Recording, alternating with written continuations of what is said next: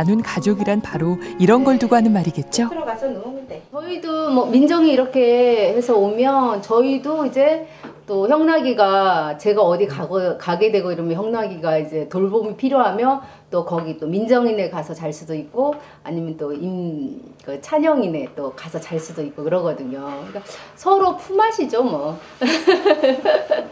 자, 자 누웁시다. 나도?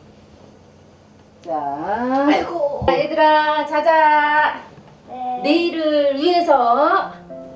자, 이불 덮고. 자, 민정이 잘 자. 네. 내일 봐. 네. 음. 아들도 잘 자.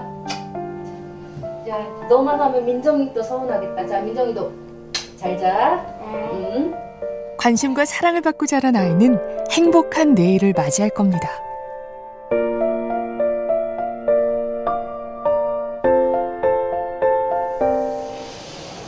다음 날 아침 센터 분위기가 예사롭지 않습니다. 무슨 큰 행사라도 있는 걸까요? 가족 캠프 가거든요. 1박 2일로 저희.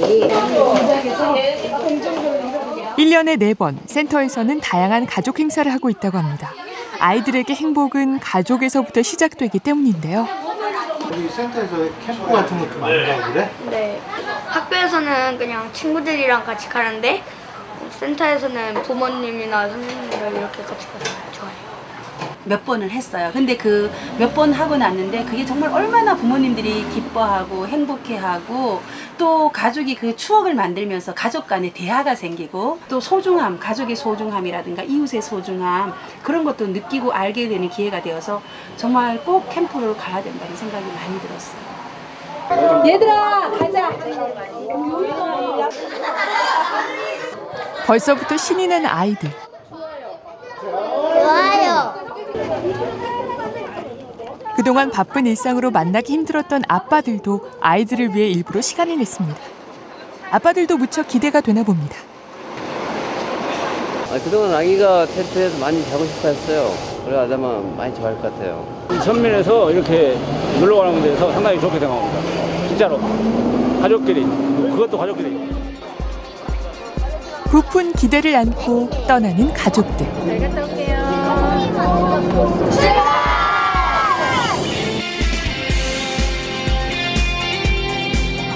센터에서 약 1시간여를 달려 찾아간 곳은 강화도에 위치한 학생 야영장입니다. 이거 안 무거워? 맑은 공기 맡으니까 힘이 불끈불끈 솟아요. 그야말로 진짜 힐링하는 그런 날이 될 것 같아요. 그리고 또 아버님들도 많이 오셨고 그래서 저 엄마들은 힘든 일 안 해도 되지 않을까 싶어요. 캠프의 묘미는 텐트죠. 이곳에서 아이들은 오늘 하루 얼마나 신나는 일이 많이 생길까요? 기대로 가득합니다. 그럼 가족끼리 이렇게 같이 나오신 건 지금 얼마 만이신 거예요? 할아버지 댁 가고 뭐 이러는 거 외에는 가족 여행은 따로 가본 적이 없습니다. 같은 경우는 처음이신 거예요? 네. 캠프 하니까 좋아? 네. 아빠랑 와서 제일 좋아요. 잠깐만. 잠깐만. 일상에 쫓겨 여행은 늘 뒷전이었기에 이번 여행이 더욱 의미가 깊습니다. 엄마랑 아니 못생겼어요.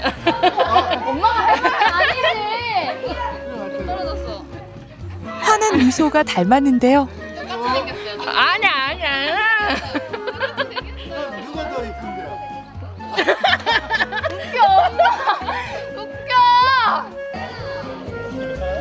한편 아빠들은 가족들의 식사를 준비합니다. 당연히 메뉴는 캠프하면 빼놓을 수 없는 바베큐. 다 들어가면 되잖아. 아버님들이 다 고기를 굽고 계시네요. 아, 이런 데 오면은 당연히 해야 되는 거죠. 그건 기본으로 해야 되는 거지. 아, 나, 아버님들이요? 아, 그럼요. 뭐 여자들만 맨날 집에서도 하고 밖에 와서도 하면은 캠프에 캠프에 묘미가 없잖아요. 주세요. 주세요. 주세요. 가족을 위해 애쓰시는 아버지들의 따뜻한 마음이 푸짐하게 담겼습니다.